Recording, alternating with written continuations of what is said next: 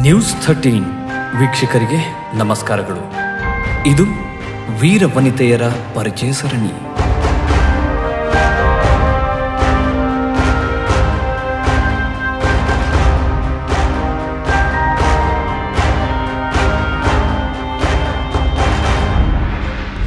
ಕೆಳದಿಯ ಚೆನ್ನಮ್ಮ, ಕನ್ನಡ ನಾಡಿನ ಓರ್ವ ವೀರ ಮತ್ತು ಧೀರ ಮಹಿಳೆ.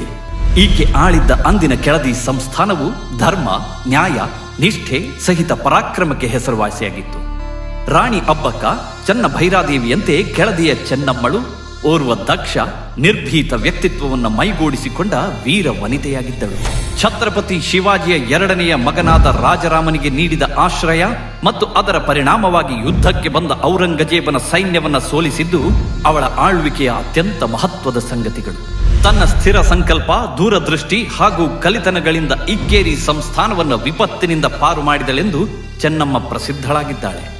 ಲಿಂಗಣ್ಣ ಕವಿಯ ಕೆಳದಿ ನೃಪ ವಿಜಯ ಎಂಬ ಗ್ರಂಥ ಹಾಗೂ ಇತರ ಆಧಾರಗಳಿಂದ ಚೆನ್ನಮ್ಮನ ಆಳ್ವಿಕೆಯ ಮುಖ್ಯ ಘಟನೆಗಳು ತಿಳಿದುಬರುತ್ತವೆ ರಾಜ ಸೋಮಶೇಖರ ನಾಯಕ ಪ್ರಾರಂಭದಲ್ಲಿ ದಕ್ಷತೆಯಿಂದ ಕಾರ್ಯನಿರ್ವಹಿಸಿದ್ದರೂ ದುರ್ಜನರ ಸಹವಾಸದಿಂದ ದುಶ್ಚಟಗಳಿಂದ ಬಲಿಯಾಗಿ ಮತಿವಿಕಲನಾಗಿ ಕೊನೆಗೆ ಸಾವಿರದ ಆರುನೂರ ಎಪ್ಪತ್ತೊಂದರಲ್ಲಿ ಕೊಲೆಯಾದ ಅವನಿಗೆ ಮಕ್ಕಳಿರಲಿಲ್ಲ. ಕೆಳದಿ ಸಂಸ್ಥಾನದಲ್ಲಿ ಅರಾಜಕತೆ ಉಂಟಾಯಿತು. ನಾಯಕ ಮನೆತನದ ವಿರೋಧಿಗಳು ತಮಗೆ ಬೇಕಾದವನೊಬ್ಬನನ್ನ ನಾಯಕ ಪಟ್ಟಕ್ಕೆ ತರಲು ಹವಣಿಸಿದರು. ಅಂಥ ದುರ್ಭರ ಸನ್ನಿವೇಶದಲ್ಲಿ ಚೆನ್ನಮ್ಮ ಆಡಳಿತವನ್ನ ವಹಿಸಿಕೊಂಡು ಅಸಾಧಾರಣ ಜಾಣ್ಮೆಯಿಂದ ಸಂಸ್ಥಾನದಲ್ಲಿ ಶಾಂತಿ ಸ್ಥಾಪಿಸಿದರು. ಕೆಳದಿಯಲ್ಲುಂಟಾಗಿದ್ದ ದುಸ್ಥಿತಿಯನ್ನ ಉಪಯೋಗಿಸಿಕೊಂಡು ಬಿಜಾಪುರದ ಸುಲ್ತಾನ ಮತ್ತು ಇತರ ಪಾಳೆಯಗಾರರು ಕೆಳದಿಯನ್ನ ಕಬಳಿಸಲು ಹೊಂಚು ಹಾಕಿದ್ದರು. ವೈರಿಗಳ ಸಂಚಿನಿಂದಾಗಿ ಚೆನ್ನಮ್ಮ ಒಮ್ಮೆ ರಾಜಧಾನಿಯಿಂದ ತಲೆ ತಪ್ಪಿಸಿಕೊಳ್ಳಬೇಕಾಯಿತು. ಸಾವಿರದ ಆರುನೂರ ತೊಂಬತ್ತರಲ್ಲಿ ಕೆಳದಿ ಮತ್ತು ಮೊಘಲ್ ಸೈನ್ಯಗಳ ನಡುವೆ ಭೀಕರ ಯುದ್ಧ ನಡೆಯಿತು. ಕದನದಲ್ಲಿ ಮೊಘಲ್ ಸೇನೆ ಪರಾಭವಗೊಂಡು ಪಲಾಯನ ಮಾಡಿತು. ಮೊಘಲರ ಸೋಲಿನಿಂದ ರಾಣಿ ಚೆನ್ನಮ್ಮಾಜಿಯ ಕೀರ್ತಿ ಇಡೀ ಭಾರತದಾದ್ಯಂತ ಹಬ್ಬಿತು.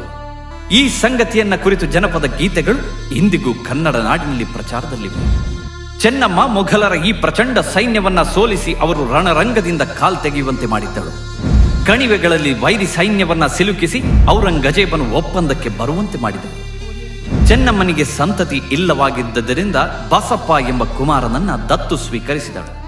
ಅವನಿಗೆ ಯುದ್ಧ ಮತ್ತು ಆಡಳಿತದಲ್ಲಿ ಶಿಕ್ಷಣ ಕೊಟ್ಟು ಸಾವಿರದ ಆರುನೂರ ತೊಂಬತ್ತಾರರಲ್ಲಿ ಕೆಳದಿ ಬಸವ ಭೂಪಾಲನೆಂದು ಹೆಸರಿಟ್ಟು ಆಡಳಿತ ವಹಿಸಿಕೊಟ್ಟಳು. ಎರಡು ವರ್ಷಗಳ ಅನಂತರ, ಅಂದರೆ ಸಾವಿರದ ಆರುನೂರ ತೊಂಬತ್ತೆಂಟರಲ್ಲಿ ಈಕೆ ಶಿವೈಕ್ಯಳಾದಳೆಂದು ತಿಳಿದು ಬರುತ್ತದೆ. ದಕ್ಷ ಆಡಳಿತಗಾರಳಾದ ಚೆನ್ನಮ್ಮ ಮತ ವಿಚಾರಗಳಲ್ಲಿ ಉದಾರ ನೀತಿಯನ್ನು ಹೊಂದಿದ್ದಳು. ವೀರಶೈವ ಜಂಗಮರಿಗೆ ಮಠಗಳನ್ನು ಕಟ್ಟಿಸಿಕೊಟ್ಟಳು. ತನ್ನ ಪತಿಯ ಹೆಸರಿನಲ್ಲಿ ಅನೇಕ ಅಗ್ರಹಾರಗಳನ್ನು ನಿರ್ಮಿಸಿದಳು. ಒಂದು ಅಗ್ರಹಾರವನ್ನ ತನ್ನ ಹೆಸರಿನಿಂದ ಚೆನ್ನಮ್ಮಾಂಬಪುರ ಎಂಬುದಾಗಿ ಕರೆದಳು.